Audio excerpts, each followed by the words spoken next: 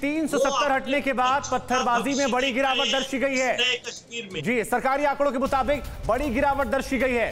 और यह खबर है कि 2019 के मुकाबले पत्थरबाजी में 88 फ़ीसद की कमी आई है। 2019 में 618 तो 2020 में 222 पत्थरबाजी की घटनाएँ हुई हैं।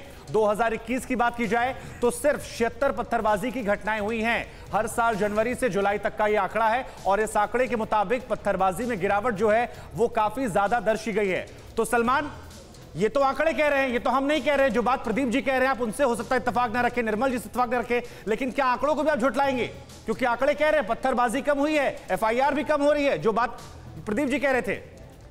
देखिए, एक तरफ़ कोरोना चल रहा है, दूसरी तरफ़ पत्थरबाजी को आप बोलिए कि अचीवमेंट है, अच्छी बात है।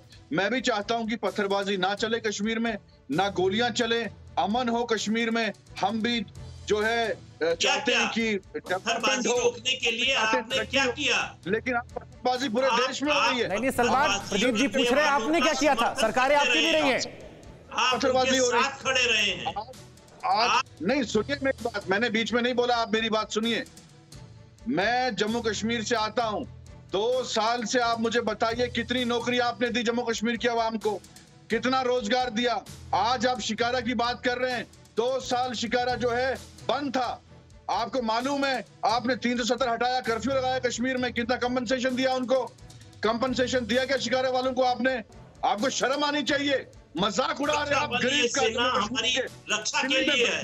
इनके ऊपर नहीं, हमला करना ठीक चाहिए। है। अड़ी सोमवार से शुक्रवार शाम छह बजे सिर्फ़ टीवी नाइन भारत। में